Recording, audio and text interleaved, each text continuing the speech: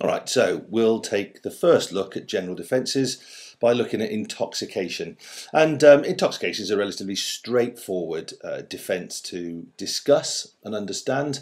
So I'll do my best not to try and make it more difficult than it actually is.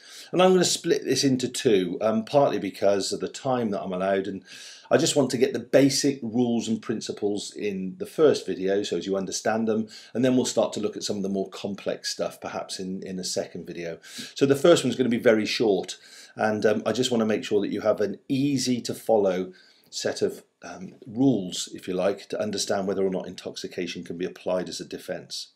And I'm going to start by looking at the what I've called the terms of reference. What do we mean? And essentially when we talk about intoxic intoxication, we are talking about intoxication through drink, through drugs, and through solvents. And by solvents, sorry, I spelled that wrong. By solvents, I mean glues and aerosols.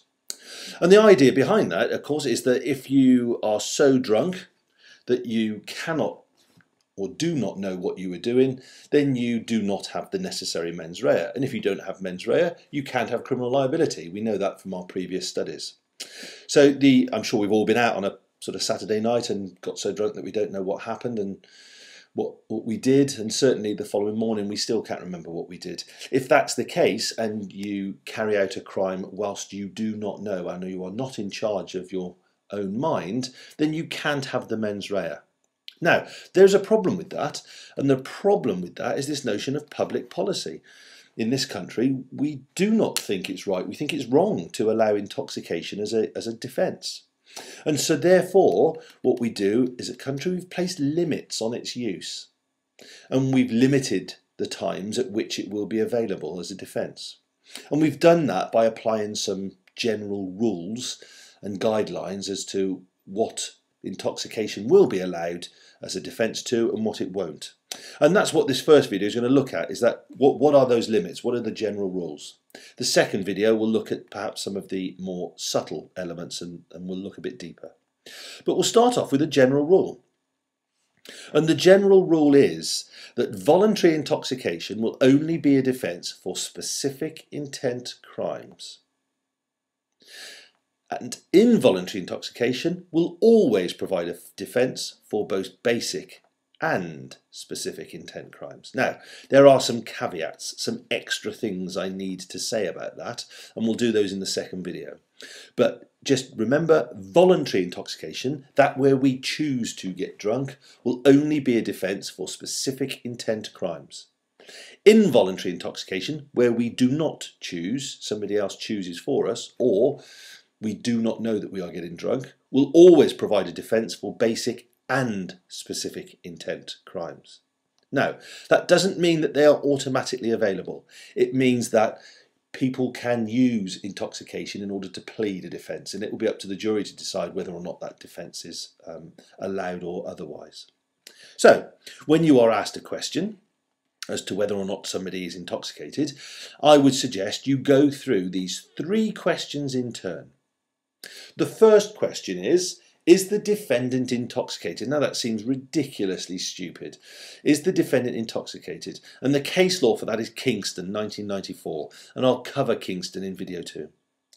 But in short, if you are not intoxicated, you cannot claim the defence of intoxication. Seems ridiculously easy, doesn't it? So if not, the defence is not available. If you are intoxicated, then you move on to question two. And question two is about voluntary and involuntary intoxication. Is the intoxication involuntary? Case Law Hardie, 1985. Again, I'll explain the facts of the case on the next video. Or is it voluntary? Allen, 1988. You can see here I've drawn or I've put a picture up here which is somebody spiking I presume these two girls drinks. That would be involuntary intoxication. Those girls do not know that they are having their drinks spiked. They will drink them and they will not know of the effects that are caused because they did not take the drugs voluntarily. So if the drugs or the drink is taken involuntary, then the defence becomes available. You can apply, you can argue the defence of intoxication, and we'll look at when that's available and when it's not later.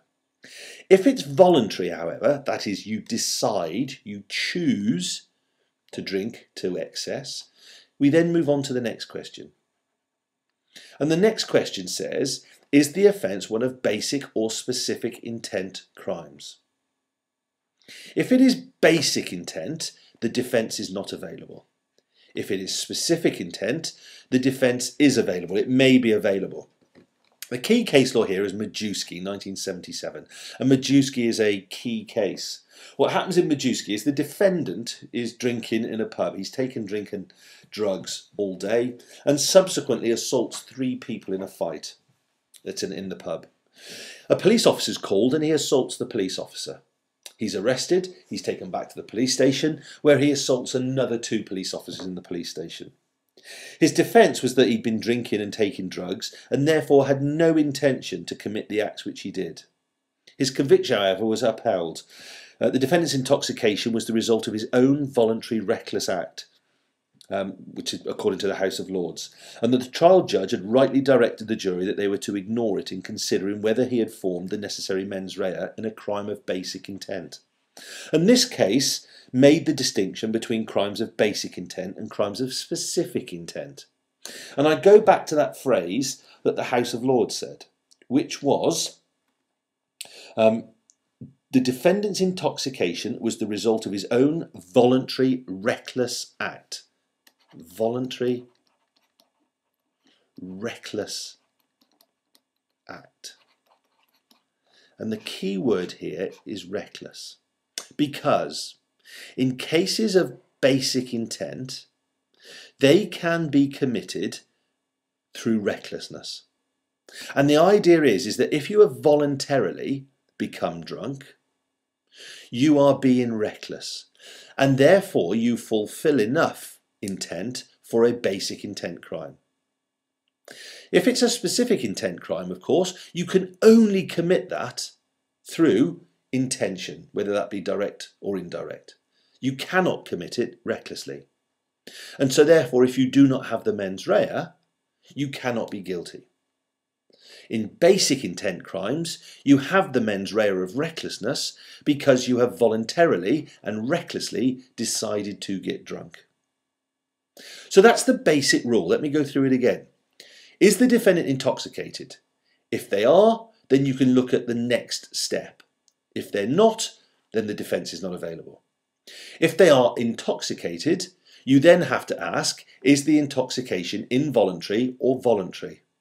If it is voluntary, the defence is available straight away. If it's voluntary and they've chosen to drink, then we go to the third question, which is, is it a crime of basic or specific intent? If it is a basic intent crime, recklessness can be used to prove guilt if it's a specific intent crime, then the defence may be available.